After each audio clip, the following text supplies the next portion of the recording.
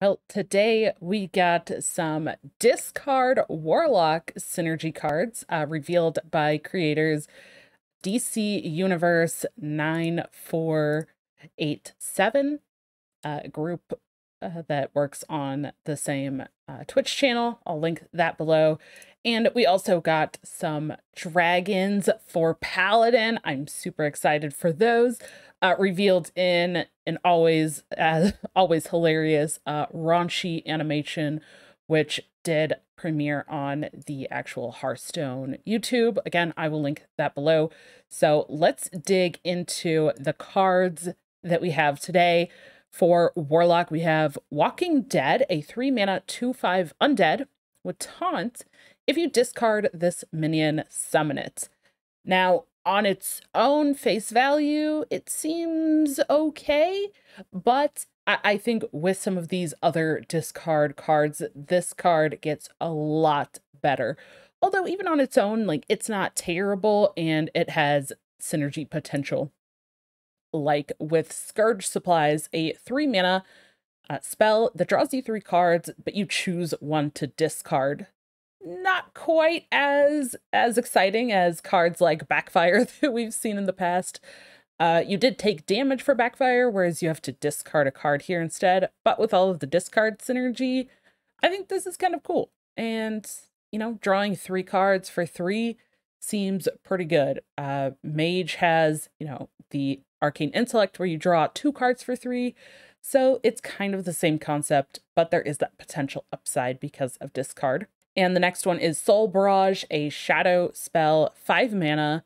When you play or discard this, deal 6 damage randomly split among all enemies.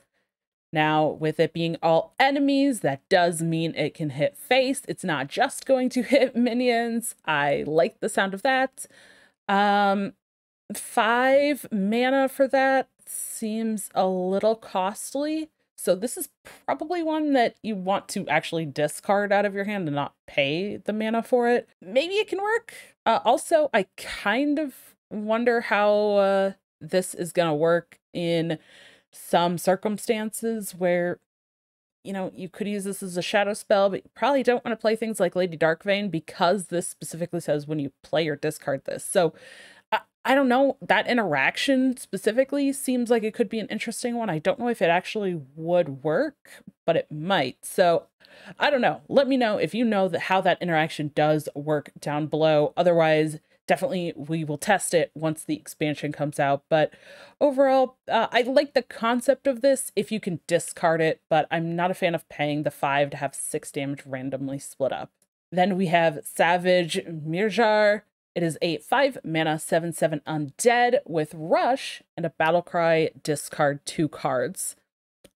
Okay, again, not quite as powerful as like Doomguard that we had, you know, in in years past. Uh, it's only got rush, not charge, but it is a good body. And if you are playing discard stuff, some of those cards, like we saw previously, really do benefit from being discarded. So you know, I think this is actually not bad of a minion if you're playing discard stuff. I don't know because it's only rush instead of charge if you would want to play this in just like any warlock deck, but I think specifically for discard purposes, this card gets a lot better.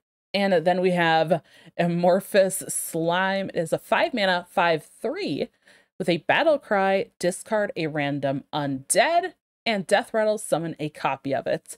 Well, the two other minions that we saw were both undead minions, so maybe discarding your 7-7 uh, Rusher and then bringing a copy of that back without having to lose the discard could be pretty good, or discarding your 2-5 Taunt minion that's then just going to play once it's discarded, and then also getting another copy of that seems pretty fantastic. Um, any again any minions that have like synergies like that or have some rush effect or even like a death rattle bringing back something that has a death rattle effect to get that effect again all seem really cool. I don't know if i like this as much as some of the other kind of slime and things like we've had. I was a huge fan of cube. Uh, it's not quite that level but again if you're working on a discard type synergy in the deck i think this seems pretty pretty good uh, because it is more specific to what you are discarding and not just a random card. Jumping into Paladin, we have dragons. I'm so excited for Dragon Paladin and maybe some sort of like mid-rangey Paladin can come back. Those were some of my absolute favorites Paladin decks in the past. Uh, Paladin's one of my favorite classes, so to see this is exciting. We have uh, Anachronos, a 7 mana 8 8 dragon. Battle Cry, send all other minions two turns into the future.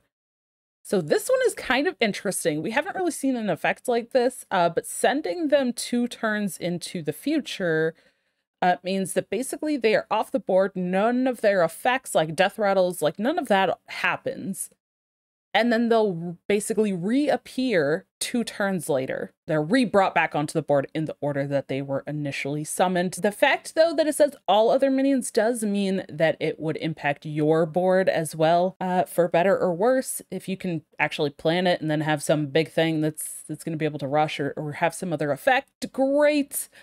Um, but I feel like this probably wants to come down on a board where you have either an insignificant minion that you don't really care about, you know, small body like a 1 1 or something, or where you are really far behind on board and uh, you want to kind of clear up your opponent's board at the same time as putting down a minion.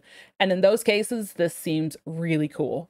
Next up, we have Time Warden, a 4 mana 3 5 dragon that says Battle Cry until the end of your next turn, dragons you summon gain Taunt and Divine Shield.